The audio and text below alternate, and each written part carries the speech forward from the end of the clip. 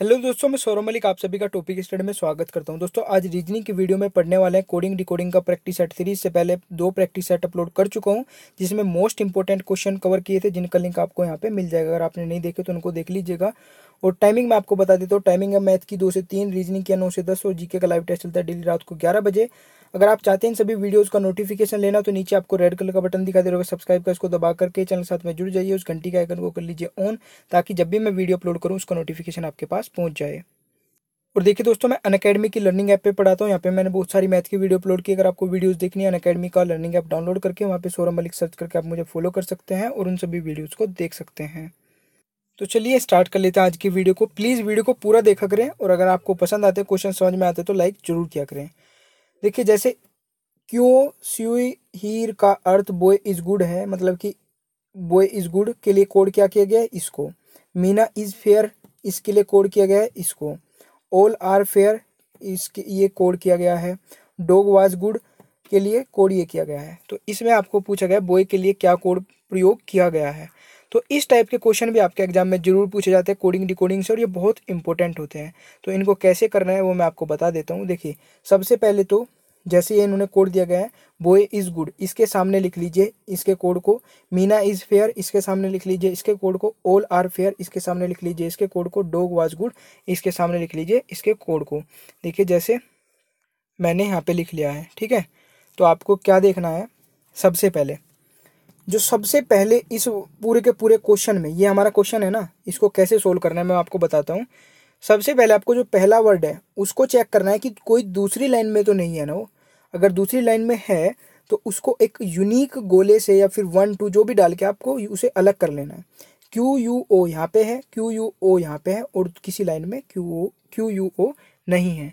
तो आपको क्या देखना है, इनको हम कर लेते हैं गोल, ठीक है? आप किसी भी चीज़ से कर सकते हैं। ये नहीं है कि इसको गोलाई से ही आपको डिनोट करना है। आप वन टू से भी कर सकते हैं जैसे भी करना है जैसे आपको अच्छा लगे। तो मैंने इसको गोल कर लिया है। अब आपको ये देखना है इन दोनों लाइन में दो, दो चीज़ कॉमन होगी। ठीक है यानी कि एक चीज़ कॉमन होगी दोनों में। तो वो कौन सी है? इज़ है। इज़ के लिए कोड किसका यूज़ किया गया है? क्यू यू ओ का। बाकी तो कोई दूसरी कॉमन नहीं है इन दो लाइन में सिर्फ़। देखिए है तो नहीं? तो इसका मतलब ये इज़ के लिए क्या कोड किया गया है? Q U O next word देखिए। नेक्स्ट है आपका सी यू आई देखिए, मैं बड़े धीरे धीरे से आराम आराम से समझाऊँगा क्योंकि क्वेश्चन बहुत इंपॉर्टेंट है ये। समझ में आना बहुत ज़रूरी है। सी यू आई अब सी यू आई आपका दूसरा वर्ड हो गया। अब देखिए, दूसरी किस लाइन में सी यू आई लिखा है? इस लाइन में कहीं है? नहीं है। इस लाइन में कहीं है? नहीं है। हाँ लास्ट वाली लाइन में फिर सी यू आई लिखा है। तो आपको क्या चेक करना है? इस वाली लाइन में और इस लास्ट वाली लाइन में क्या कॉमन है? इन दोनों लाइन में सिर्फ़ देखना है क्या कॉमन है। इसमें गुड है और इसमें भी गुड है। और कोई दूसरी चीज़ तो कॉमन नहीं है? नहीं, इनमें भी कोई दो चीज़, दूसरी चीज़ कॉमन नहीं है। तो इसका मतलब गुड के लिए क्या कोड यूज़ किया गया है? सी यू आई आशा करता हूँ कि आपको ये चीज़ें क्लियर होती चल रही होगी। नेक्स्ट आपका हीर एच डबल ई ईर ठीक है? तो ई e आर तो आपको क्या देखना है? ये कहीं और पे है। तो भैया, ये किसी भी लाइन में नहीं नज़र आता है। तो इसका मतलब क्या हो गया? इसके लिए ये कोड किसके लिए यूज़ किया गया है? बोए के लिए। ठीक है? हीर कोड किसके लिए यूज़ किया गया है? बोए के लिए। तो हमारे पास पहली लाइन के सब कुछ क्लियर हो चुके हैं। दूसरी लाइन में देखते हैं। अब दूसरी लाइन में आपका एल ए आई कहीं पे दिख रहा है आपको? देखिए एक बार। यहाँ पे इस लाइन में होने के बाद इसमें कहीं नहीं है, इसमें नहीं है। तो इसको अभी छोड़ देते हैं, ठीक है? ऐसे जो कोई, कहीं पे रिपीट नहीं होता, उसको छोड़ देते हैं। अब इसको हमने क्यों पकड़ लिया? क्योंकि हमें दो का पता चल लिया तो ये बचा तो ये इसी का ही होगा, ठीक है? और इसमें अभी हमें कन्फर्म नहीं है तो इसको अभी छोड़ देते हैं। फिर दूसरा आपका M E A M E ए देखे कहीं और पे है? यहाँ पे है और यहाँ पे है। तो इन दोनों में है तो इन दोनों में चेक करिए फेयर आपको नज़र आ रहा है इन दोनों में, और किसी, कहीं पे भी फेयर नहीं है तो इसका मतलब फेयर के लिए क्या यूज़ किया गया है? एम ई ए तो इसको एक अलग साइन से डिनोट कर लीजिए, ठीक है?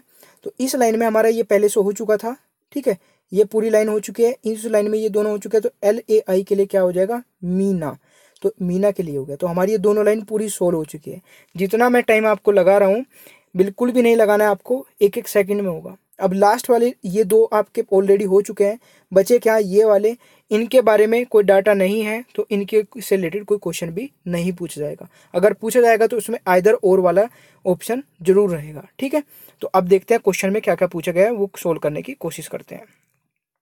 सबसे पहले पूछा गया बोए के लिए क्या कोड प्रयोग किया गया है? तो देख लेते हैं, भाई बोए के लिए, देखिए, सबसे पहले यही क्वेश्चन पूछा गया कि बोए के लिए क्या कोड यूज़ किया गया है? हीर को यूज़ किया गया है बोए के लिए। ठीक है? तो राइट आंसर आपका क्या हो जाएगा? Option number C next is के लिए क्या कोड प्रयोग किया गया है?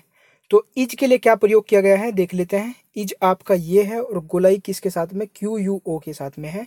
तो इसका मतलब क्यू यू ओ का यूज़ किया गया है इज़ के लिए। तो option number A is right answer was के लिए क्या कोड प्रयोग किया गया है? तो देख लेते हैं। भाई वोज के लिए क्या कोड प्रयोग किया गया है?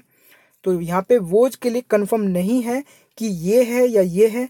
तो आपको मैंने आपको बताया था कि ऑप्शन में कोई ना कोई अलग से कुछ मिलेगा ज़रूर तो आपको आंसर नहीं लगाना है। तय नहीं कर सकते, ये ऑप्शन हो जाएगा, क्योंकि दो वहाँ पे ऑप्शन बचे हुए हैं और आपका जो कोड है वोज के लिए, या तो वोज के लिए ये हो सकता है या फिर ये हो सकता है, ठीक है, या गो डोग के लिए ये हो सकता है या फिर ये हो सकता है। तो हम इसमें चॉइस नहीं कर सकते हो। राइट आंसर आपका कौन सा हो जाएगा? तय नहीं कर सकते ऑप्शन नंबर डी आशा करता हूँ कि पहला क्वेश्चन आपको समझ में आएगा चलिए फिर इसी टाइप के एक और क्वेश्चन को करते हैं जो ताकि अच्छे से क्लियर हो जाए।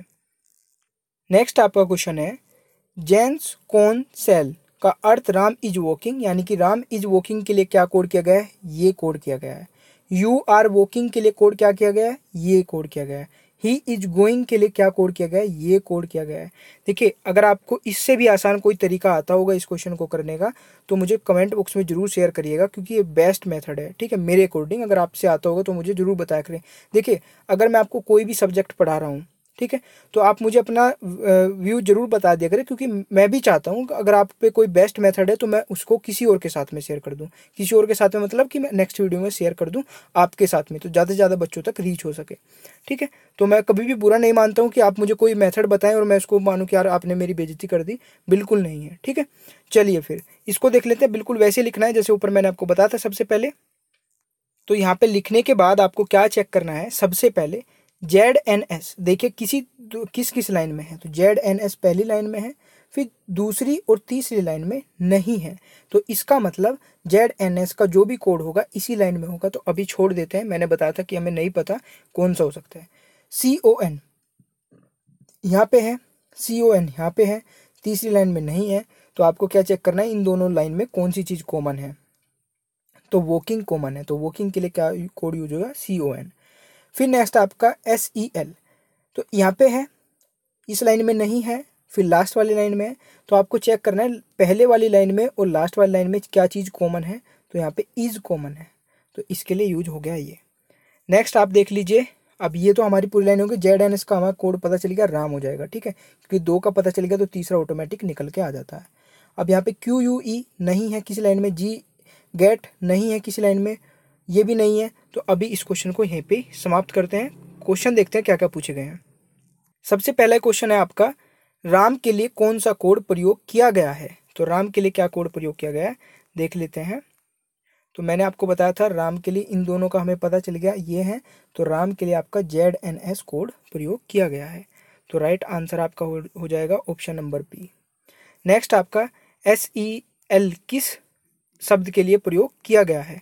तो इसको भी हम देख सकते हैं। ये आपका इज़ के लिए प्रयोग किया गया है, क्योंकि ये यहाँ पे है, यहाँ पे है और इज़ यहाँ पे है, यहाँ पे है। तो इज़ हो जाएगा इसका राइट आंसर। ठीक है? नेक्स्ट है आपका क्वेश्चन, वॉकिंग के लिए कौन सा कोड प्रयोग किया गया है? तो वॉकिंग के लिए आपका कोड प्रयोग किया गया है सी ओ एन ठीक है? तो वॉकिंग के लिए आपका सी ओ एन कोड प्रयोग किया गया है तो राइट आंसर हो जाएगा C O N option number B is the right answer आशा करता हूँ कि ये दोनों क्वेश्चन आपको क्लियर हो गए होंगे। तो चलिए नेक्स्ट टाइप के क्वेश्चन पे चलते हैं। तो नेक्स्ट टाइप की कोडिंग है। वैसे तो मैं इसका एक पार्ट पहले भी अपलोड कर चुका हूँ बट यहाँ पे भी कवर कर लेते हैं थोड़े से और क्वेश्चन निम्नलिखित श्रेणी में कौन सा विकल्प अनुपस्थित अक्षरों से मेल रखता है? तो यहाँ पे आपको क्या करना है? देखिए, ये आपकी है तो आप, मैंने आपको बताया एक तरीका तो इसको काउंट करके कर लेते हैं, ठीक है? तो काउंट करेंगे। एक, दो, तीन, चार, पाँच, छः, सात, आठ, नौ, दस, ग्यारह, बारह, तेरह। थर्टीन है तो हम इसको चार चार के पेयर में तोड़ सकते हैं। मैंने आप बताया था ना, जब भी आपको सही मतलब फ्रैक्शन नहीं हो सकते हैं कम्प्लीटली तो आपको क्या करना है, उससे कम वाली देखनी है वैल्यू तो इसमें बारह वाले हम फ्रैक्शन करके देखेंगे। बारह में क्या होगा चार चार के तीन फन, बन सकते हैं, ठीक है? तो चार चार के बना लेते हैं। एक, दो, तीन, चार का अगर यहाँ पे बनता है। अब देखिए, यहाँ से आपको एक चीज़ क्लियर सी हो रही होगी जब मैंने इसको बनाया तो इसका मतलब ये स्टार्टिंग का हो गया है और ये एंड का हो गया है। तो स्टार्टिंग का अगर ए बी है तो यहाँ पे स्टार्टिंग का ए बी हो जाएगा। अगर यहाँ एंडिंग का सी है सी ए है तो यहाँ पे एंडिंग का सी ए हो जाएगा। समझे आप थोड़ी सी इस चीज़ से? तो हमें पता चल गया ए B C A A B सी ए चल रहा है यहाँ पे, ठीक है? यहाँ पे बंद करते हैं ए बी सी ए और यहाँ पे हो जाएगा, ठीक है? A B C A A B सी ए तो क्या हो गया आपका? Right answer B C B A B C B A आपका राइट ऑप्शन पहले वाला ही बन जाएगा। ठीक है? अब थोड़ा सा आपको ये भी चीज़ें सोचते हुए चलना है, जैसे मैंने आपको बताया, चार में हमने तोड़ दिया। भाई ये एक पेयर का लास्ट वाला अक्षर है और ये एक पेयर का चार वाले का ये शुरू का है। तो इसका मतलब शुरू में ए बी है तो यहाँ पे भी ए बी होगा और यहाँ पे लास्ट में सी ए है तो यहाँ पे लास्ट में सी ए हो जाएगा। तो इस टाइप से भी आपको थोड़ा बहुत सोचना है। नेक्स्ट क्वेश्चन पे चलते हैं। देखिए, एक इस टाइप की कोडिंग डिकोडिंग भी आपके एग्ज़ाम में पूछ जाती है। सहयोग रेशो बचाव, ठीक है? तो इस तरीके से आपका प्रार्थना का क्या होगा? तो यहाँ से आपको इन दोनों के बीच में रिलेशन देखना है। बचाव के लिए आप सहयोग किसी से मांगते हैं, ठीक है? तो इनके इसके अकॉर्डिंग सहायता के लिए आप किसी से प्रार्थना करते हैं, ठीक है ना? तो राइट ऑप्शन आपका ये हो जाएगा, विरोध नहीं हो सकता, ठीक है? क्योंकि इनका रिलेशन कैसा है? पॉजिटिव रिलेशन है। बचाव सहयोग यानी कि बचाव के लिए आप सहयोग मांग सकते हैं किसी से तो प्रार्थना जो प्रार्थना के लिए है वो भी आपका सहायता के लिए होगा ठीक है? सहायता से आप प्रार्थना से आप सहायता मांग सकते हैं ठीक है? किसी से प्रार्थना करेंगे कि अब मुझे सहायता चाहिए तो आप वो सहायता हो जाएगा ठीक है? आदेश नहीं हो सकता नि, निंदा नहीं हो सकती ठीक है? आशा करता हूँ कि क्वेश्चन भी आपको क्लियर होगा। नेक्स्ट पे चलते हैं।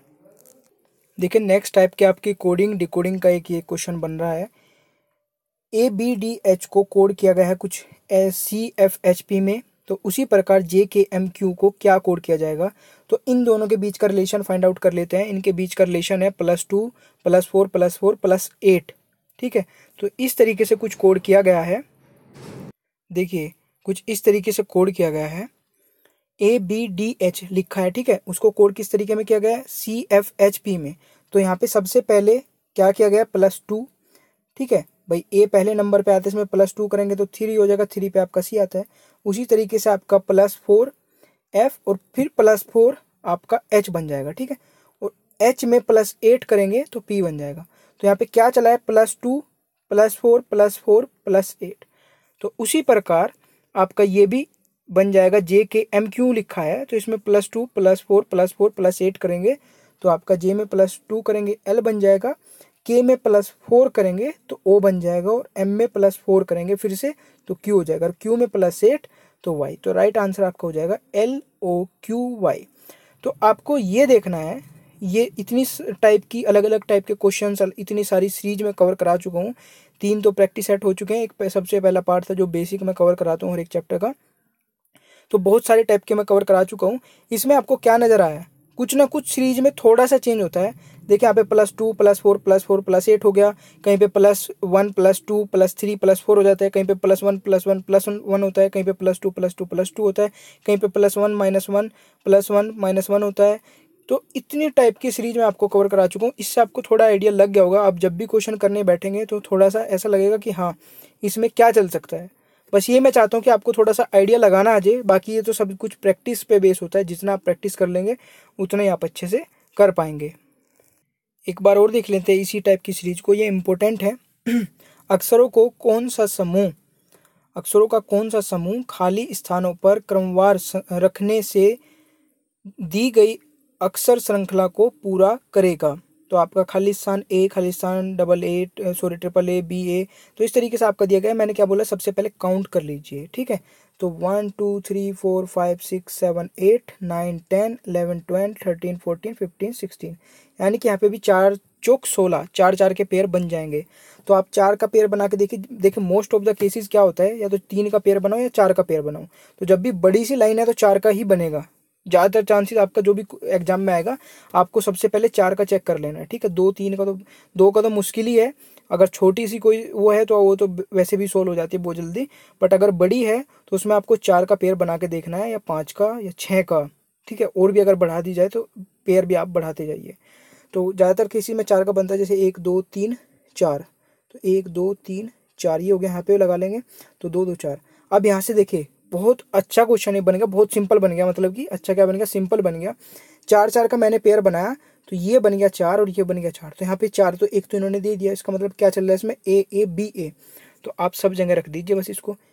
A A B A A A B A A A B A A A B A तो यहाँ पे आप क्या समझे इससे कि इससे हमने क्वेश्चन को सोल्व कर लिया।